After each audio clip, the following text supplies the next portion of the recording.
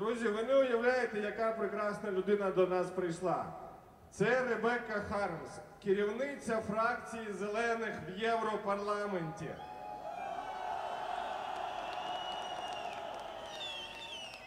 Ребекка є найбільшим другом України в Європарламенті.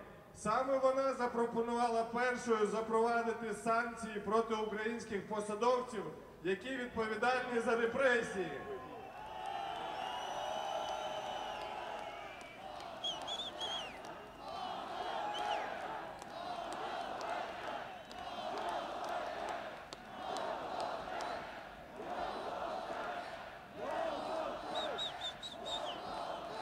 І саме вона була ініціатором цієї прекрасної акції європарламентарів позавчора під час голосування резолюції по Україні.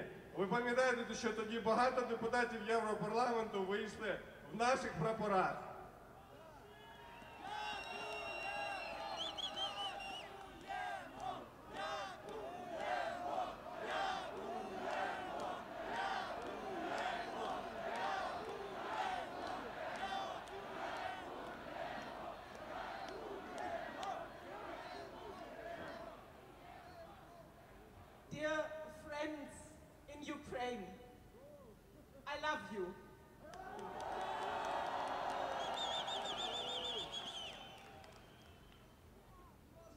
love your country. And uh, I know why. You are always good for tremendous surprises. Я люблю вас, я люблю вашу країну, і я знаю, чому ви такі прекрасні, чому ви завжди так вмієте дивувати. When I left Kiev around two weeks ago, another stage on the other side of this place. Два тижні тому я вже приїжджала до вас і говорила на першому Євромайдані, який виник з того боку нашої площі. Everything was nice. I spent a wonderful and encouraging night here with you on the Maidan. Там було фантастично, і я провела прекрасну ніч з вами тоді на Євромайдані. Все було дуже спокійно. And then I arrived home at night and saw these awful pictures from Kiev and saw how they had violated my friends here in the city. Потім я повернулася додому і побачила ці, ці жахливі кадри по телебаченню, що вони зробили з моїми друзями в Києві. I talked to my friend Yuri Andruhovich, and he was also very sad and very upset in the night, and nothing was clear. Я говорила тоді з моїм другом, українським письменником Юрієм Андруховичем, і він теж був страшенно змучений і розстроєний цією історією. Нічого не було ясно, що буде далі. We waited, and then in the morning, the message came we survived on the Maidan and we will continue. І вранці я зрозуміла повідомлення від вас. Ви не здалися. Майдан буде далі тривати. So now it's another try what I see here. I'm very impressed by the courage of the people of this country. І зараз, опинившись тут знову, я захоплена духом людей цієї країни. And I can tell you, we from the European Parliament will be with you and with all democratic forces in this country. Я скажу вам, що ми в Європейському парламенті повністю з вами, повністю з усіма вільними людьми в цій країні. We decided.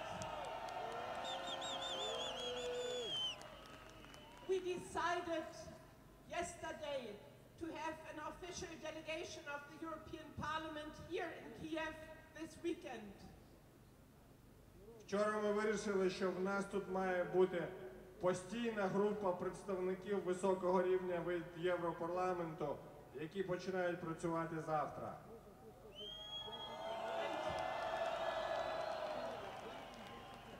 I don't know what this night, tomorrow, or the next night will bring, but I can tell you what we can do to protect you against more violence, we are trying to do.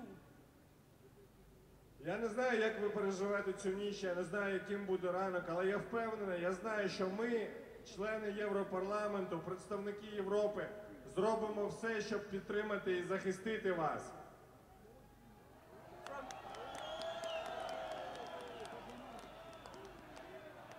I saw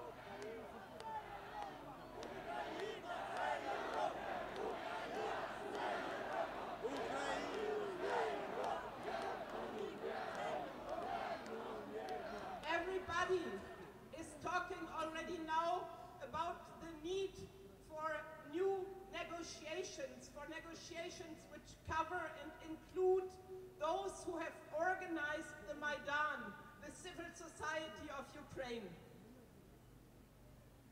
Ми пробуємо організувати перемовини між всіма сторонами, зокрема тією стороною, яка підняла Майдан.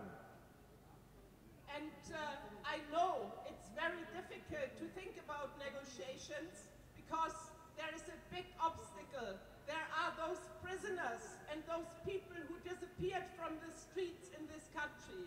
And one condition to sit on a table is that all political prisoners in this country are free.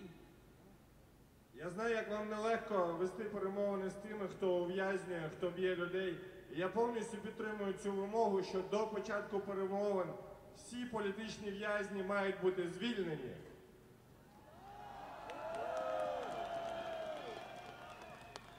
So it's in the end you, the people of Ukraine, who have to decide about your destiny.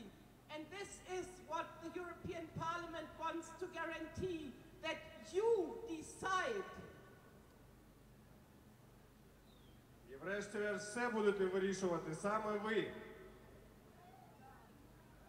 You decide your destiny, you decide your future, and we do with all our forces by negotiations, but also by supporting and joining your protests that the way for a better future in Ukraine is open. Ви саме ви будете визначати свою долю, долю вашої країни, і ми зробимо все, щоб допомогти вам. And I am from Germany. I work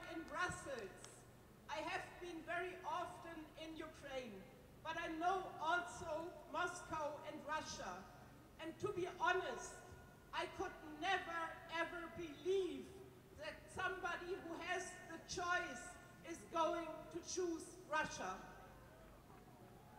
Сама я з Німеччини, я працюю в Брюсселі, але я добре знаю, що робить російська влада. І я ніколи не повірю, що вільна людина вибере таке життя, яке пропонує російська влада. So, together, together we are not only strong, not only strong today and tomorrow, we together will be able to get the association agreement and to make uh, Ukraine one of the most important countries together with the European member states on this continent. І знаєте, друзі, я не лише впевнена, що ми обов'язково укладемо асоціацію з Україною, але я впевнена, що Україна стане однією з найважливіших країн в Європейському Союзі.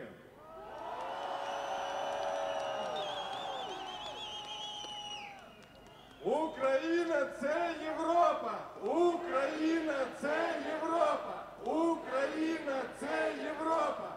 Україна це Європа!